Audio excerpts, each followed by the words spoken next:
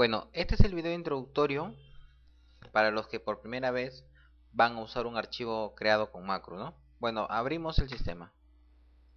En este caso voy a usar Excel 2007. Lo primero que nos va a salir es una ficha para habilitar macros. Debo de ir a opciones, habilitar este contenido, luego aceptar. Y ya está, puedo usarlo. Luego me voy también a esta opción, opciones de Excel. En la parte de acá seguro lo vas a tener tú así. Lo seleccionas para mostrar la ficha. Y le das aceptar. Ahora tenemos esta pestaña llamada programador. Nos vamos a seguridad de macros. Seleccionamos acá, habilitar todas las macros y acá también. Le damos a aceptar. Eso es para tenerlo ya activo y empezar a trabajar.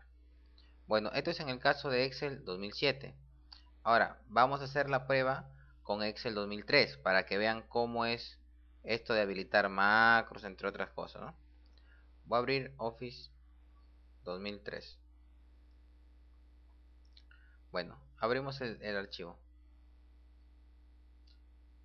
Nos vamos a herramientas, macro, seguridad. Seleccionamos donde diga abajo. Bueno, ya, ya le he tenido en esta opción abajo, ¿no? Pero seleccionas bajo, editores de confianza, seleccionas ambos y le das a aceptar.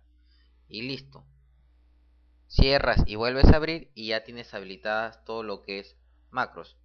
Así de sencillo. Bueno nuevamente abrimos el archivo esta vez en Excel 2007